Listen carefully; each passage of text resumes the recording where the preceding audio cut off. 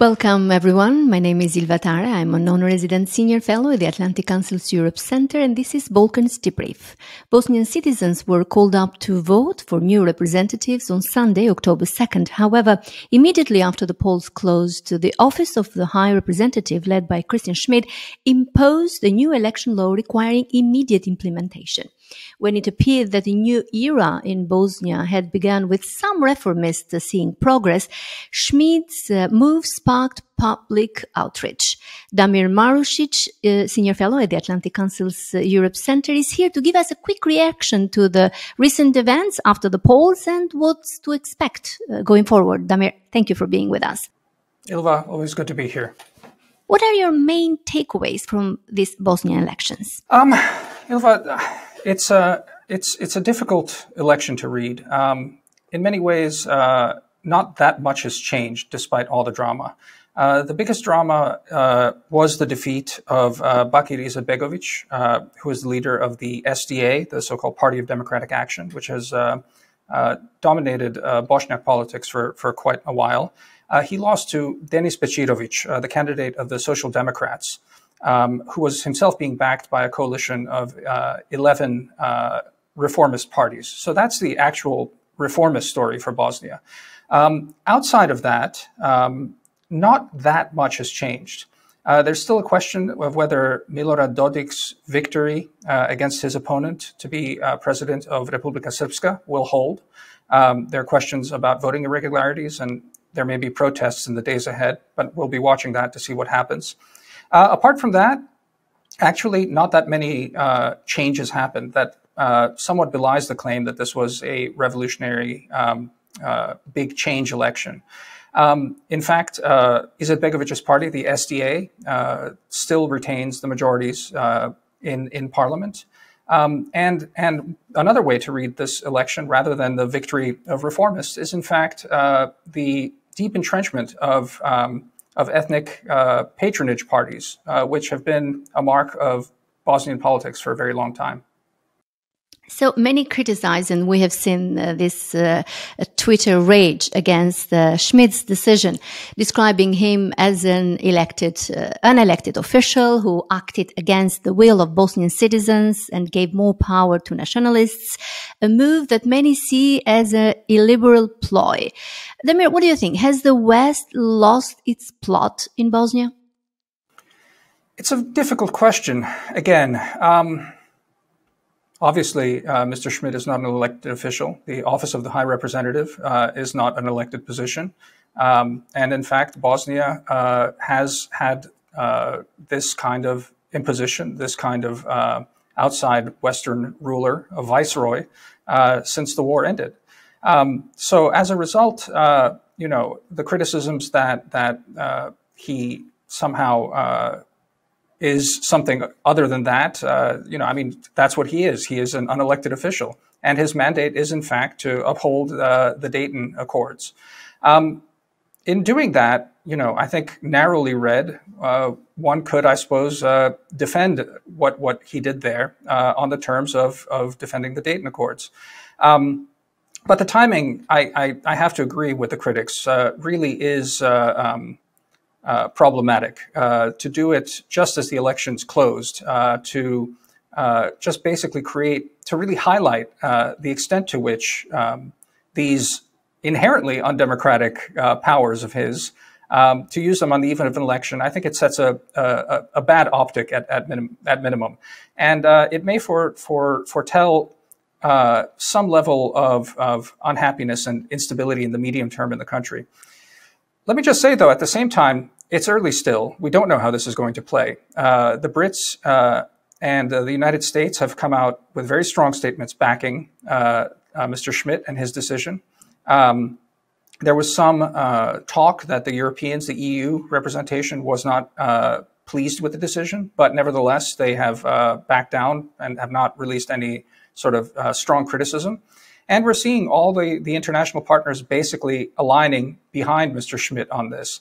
So, you know, let's see how it plays out. Uh, it's maybe possible that, that uh, Mr. Schmidt has gambled correctly and that this will just be accepted and will go down because it's not clear what the alternatives are for it being basically accepted. It will be imposed, as it were. Um, but at the same time, uh, you know, questions of legitimacy are real, and uh, to do something like this with this kind of timing, I think opens up uh, potentially a Pandora's box going forward. You said it uh, earlier that it, there may be a chance that a protest may may start in uh, Sarajevo and in, in, Bosnia. Will this affect the um, the work and the the, um, the office of the High Representative there? I don't know. We have to see what uh, what kind of protests there are and how this actually plays out. I mean, uh, the other question is is uh, the formation of government, uh, whether uh, this uh, impacts that. Um, the stated reason why the decision was made by the Office of High Representative was, in fact, to ensure that that Bosnia is able to form a government. There's been a lot of blockage on many levels in the in the years leading up to this, and his pur stated purpose in doing this at this very time uh, was to not announce it ahead of the elections and have it be an election issue, but do it right away uh, as soon as the elections were done in order to facilitate the formation of a government. Um, it, it, again, uh, you know, reading newspapers, uh, talking to friends, uh, reading Twitter, uh, the hot takes are flying very hot right now. Um, and one can get the impression that it's going to be very difficult to move forward. But uh, I really have to say, it, it really does feel a little too early to tell to see exactly how this will play out. Uh, can you tell us why are Bosnians against opposing this new election law, claiming that it gives Croats uh, a permanent monopoly? And what is the Croat stance on these changes? Well, uh, the reality is is that uh, Croats in Bosnia uh, and uh, Croats in Croatia have, in fact, been campaigning for these kinds of changes uh, for, for quite some time now. This has been a live issue in, in Bosnian politics for a very long time. Um, and in fact, it was, I think, the, the, uh, the fact that the, the, the demands and the, uh, the worries of the international community that after this election, the Croats may start pulling out permanently from institutions and making Bosnia completely ungovernable uh, that may have forced their hand to act. Uh, again, I stress on the merits. Um, the OHR is supposed to protect uh, uh, the Dayton Accords, and the Dayton Accords uh, do enshrine this idea of three constituent peoples, the Croats being one, and providing certain rights for them. Um, you know, on a short interview like this, uh, we really could go on for hours. And quite frankly, I'm not even the right person to to have this conversation with about uh, the wisdom of uh, of Dayton as a constitution, uh, whether uh, the the rights of one of the constituent peoples have been meaningfully impacted, and whether uh, a true liberal. Um, non-ethnic democracy is possible under the constitution as it currently exists in Bosnia. Nevertheless, um, the reality is uh, that uh, the mandate of OHR is to protect is to protect Dayton, and uh, they acted in that way. Um, does it entrench ethnic politics uh, in um, in Bosnia? Well, in the sense that uh, ethnic politics have been entrenched in Bosnia since Dayton, yes, certainly. By reinforcing Dayton, it does exactly that. Um, and uh, quite frankly, uh, you know, speaking as someone uh, who really does want uh, the best for Bosnia, that's not a good thing. It's uh, it's it leads to quite a dysfunctional politics and and, and keeps the country uh, trapped in really toxic dynamics. Um, but nevertheless, here we are. we're back to Dayton being the law of the land in Bosnia, and the international community backing that. And are the Croats happy with these decisions? Is this a result of their lobbying with EU and uh, US partners?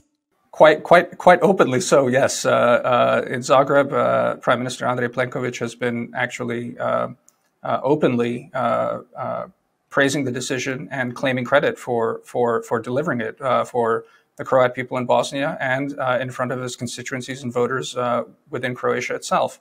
Um, and uh, by, by uh, all accounts, uh, this is certainly not uh, everything that the uh, Croats in Bosnia wanted, but uh, they certainly seem satisfied with what they have gotten from the international community at this point. Given these recent developments, do you believe that the EU will step in and grant finally Bosnia's the candidate status? Honestly, um, the candidate status still requires that uh, I forget what number of the 14 uh, points that the EU has set out um, uh, for uh, the Bosnian government to meet uh, be met. Um, we've heard privately that the number is not that all 14 need to be met before before the the candidate status is granted. I, I suspect, however, that a passage of the electoral law is the sine qua non of um, of actually getting candidate status. So uh, it's and that just maybe leads us to a final point on the OHR decision.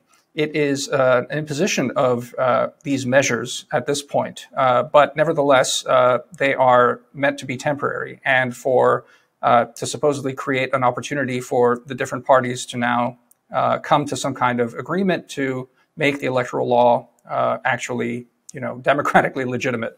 Um, again, whether that's going to play out that way, I have my doubts. Um, but let's see. Uh, maybe there is hope that after something like this, uh, you will get kind of uh, some kind of deal making if passions die down.